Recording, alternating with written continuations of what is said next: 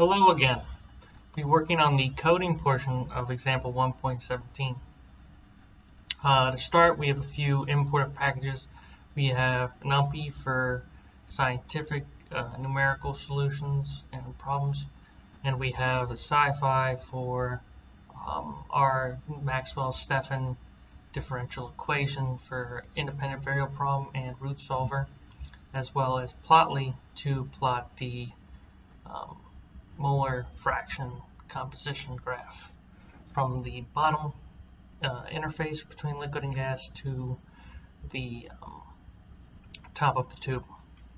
Uh, we also have some given information. Um, the diffusion constants, which were given in millimeters per second, millimeters squared per second. Uh, we've made that meter squared, which we're using a constant meter throughout the problem to make it easier. Uh, then we have our pressure, pressure in pascals given and our temperature in Kelvin given, as well as a ideal gas constant, um, which is in joules per mole Kelvin. And then we have our uh, concentration, which we found from the scaling portion of the uh, 1.17 um, pressure divided by the gas constant times temperature in joules per mole Kelvin not joules per mole that's constant per mole per meter cubed. And then we have our delta, which is given in meters. Uh, and then we have our initial values for mole fractions of acetone and methanol. And our air can be found from subtracting 2 from 1. And then we have our initial guesses of molar flux for acetone and methanol, which we found from the scaling problem portion of the problem before, 10 to the negative third, and moles per meter squared, moles per meter squared per, per second. And then we're going to use um, what we call the F variable for the bottom portion of the Maxwell-Stefan uh, equation, which was concentration times the uh, which it relates to the diffusion coefficient, so the concentration times the diffusion coefficient divided by delta. So first, we're going to open up a new cell, and we're going to look at defining our Maxwell-Stefan equation. So we're going to define it as uh, dy for the derivative of the mole fraction. We give that eta, not e eta, and then y as its variables since we scaled the eta, and y is the other for mole fraction. And then we're going to, before that, I want to set our n values or molar flux values equal to the guesses for each one respectively.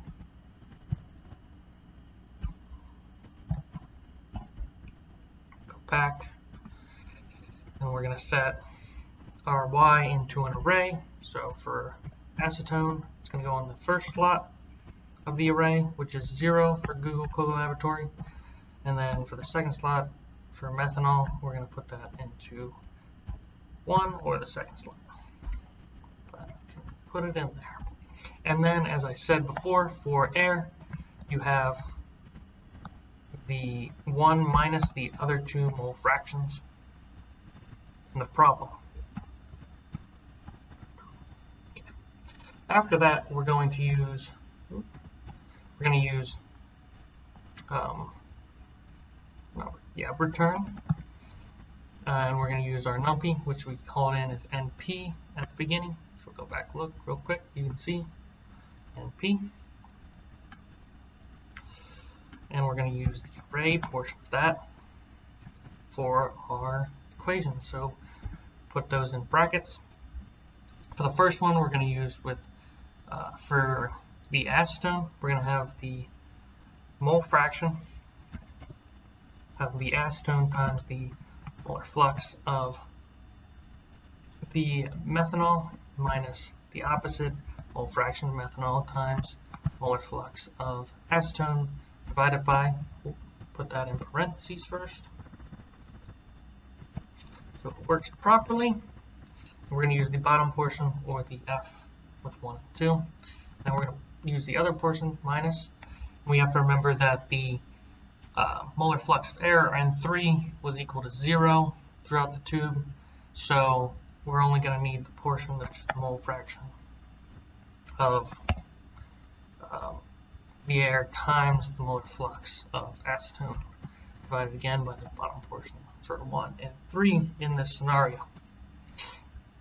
Um, and then we're going to put a comma and we're going to put in the second uh, equation for Maxwell-Stefan, Maxwell-Stephen, which is for the molar fraction of methanol. So we have the mole fraction of methanol times the molar flux of acetone minus in the molar fraction of acetone times the molar flux of ethanol, methanol.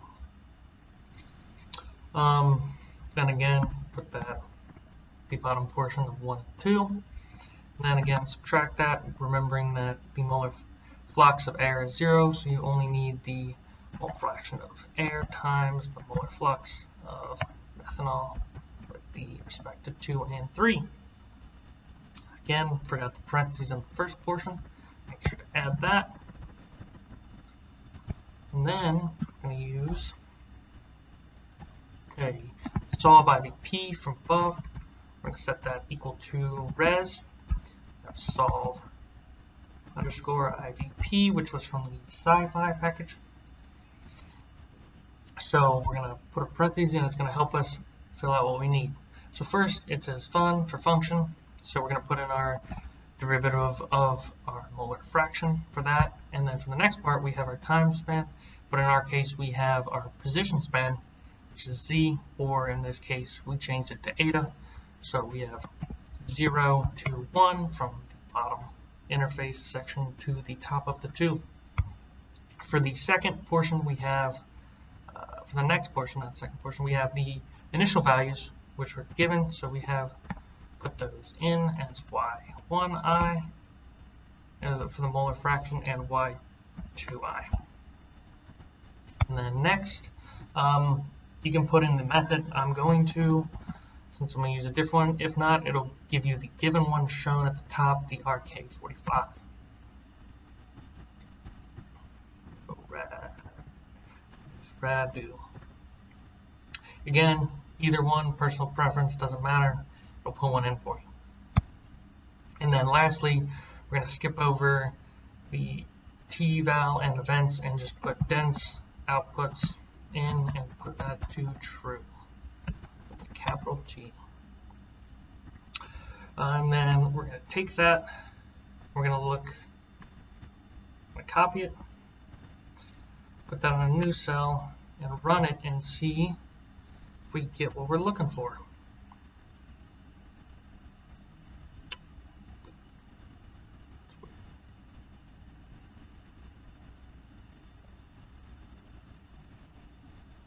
Okay, we can see down here in the y section that we have a negative when the molar fractions should be zero at the end and so they can't be negative since at the top of the tube that you have the molar flux of air is one across the whole section because it is constantly flowing above. So we want we want that to be zero. Now to do that we're going to run similar thing, we're going to find new function for which we'll just call f.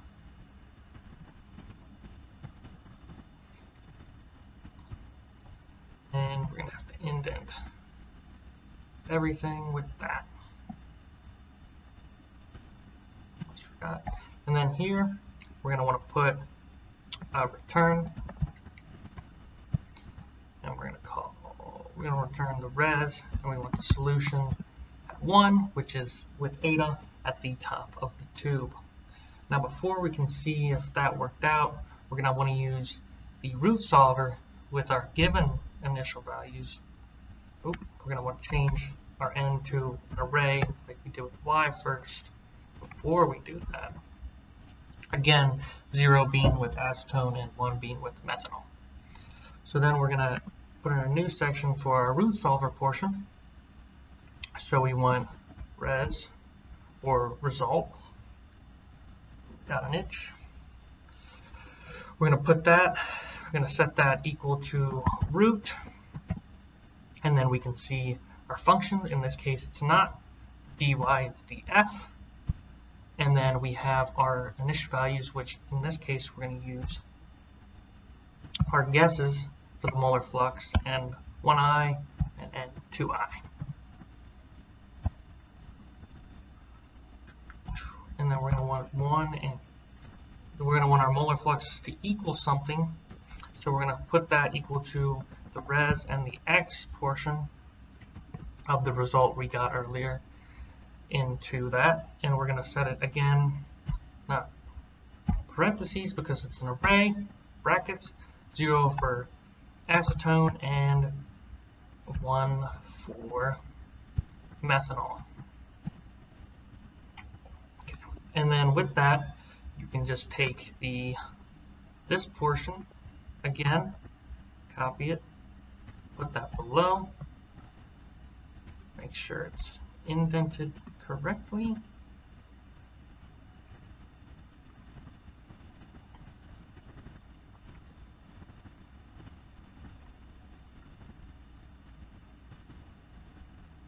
See, one, two, four. Okay, so we're going to run all of them again to check one more time. Make sure that I didn't screw up, which I might have. What did I do? There's a mismatch outputs. So I copied that over at x 0, 1, and 1 result root.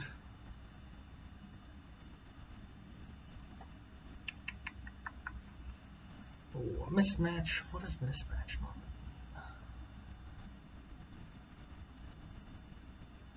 Nope, we one line up there. You have to zero and one brackets. Uh, parentheses root. Did I call that f or did I mess that up? Oh, it's f. Resolve, resolve. Issue. I think there's an issue with the indentation on this portion up here. Try that again. Nope. Still getting something.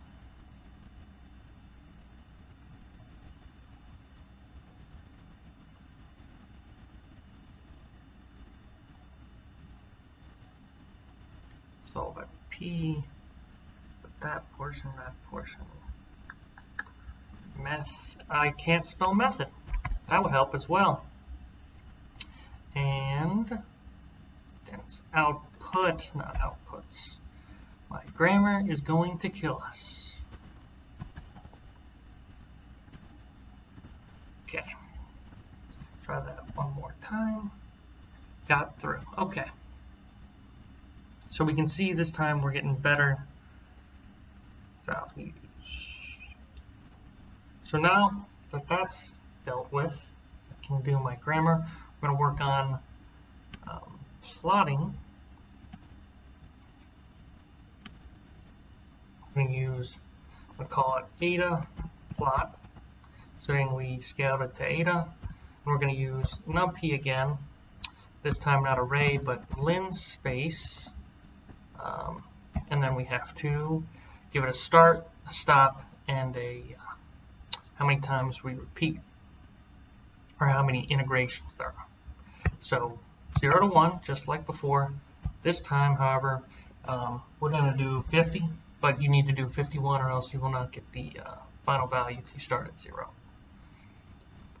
So set that, and then we need to set a variable to help with our plotting, which will be for our y portion of our graph, which we'll call solution.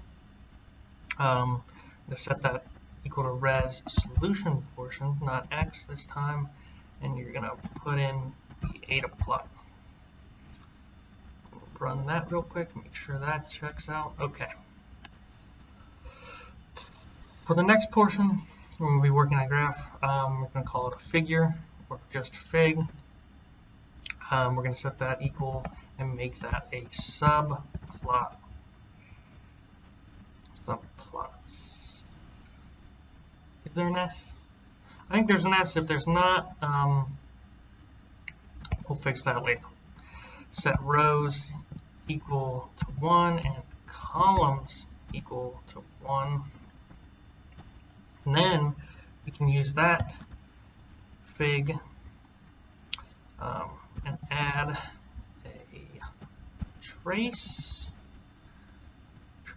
We'll start with the acetone, but we'll need to make it graph objects, which we'll take a look right back at real quick, which was pulled in up here and the make subplots as well from the plotly. Okay, go dot do a scatter. Oop. And then we're going to have to put in our x and y. So our x is equal to our eta plot.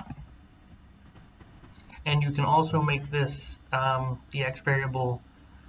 We're having it go from 0 to 1 with eta, but you could also make it um, by delta distance, as all you have to do is multiply the eta plot by delta for each of these. But we're not going to do that. We're going to stick to our 0 to 1 scale. And then for our y value, we're going to set that equal to the solution with the array 0 for acetone, 1 for methanol, and then we're going to do 1 minus the other portions for air. So we have that. And then lastly, we're going to want to name. So our graph is labeled name it acetone.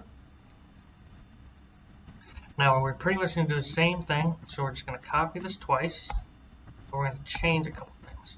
First, make sure the name's different. We don't got three different, we don't have three acetones, we have a methanol, and we have an air. Secondly, the X portion is going to stay the same, but the Y portion is going to be different. One for methanol, like I said before, and for this one, we're going to have 1 minus both the other portions. So solution for 1 and 0, or 0 and 1. And if I run it, it should give us a graph. As you can see, as we talked about before, we have all lines labeled. Um, this portion we have uh, our mole fractions, and then we have our eta. And as you can see, as we move down the eta line and towards 1, we slowly lose more and diffuse more acetone and methanol from the initial values to get to 0 at the finish for that and 1 for air at the final eta since the air is running over the top and we know we only have air there. So that should be everything. Thank you.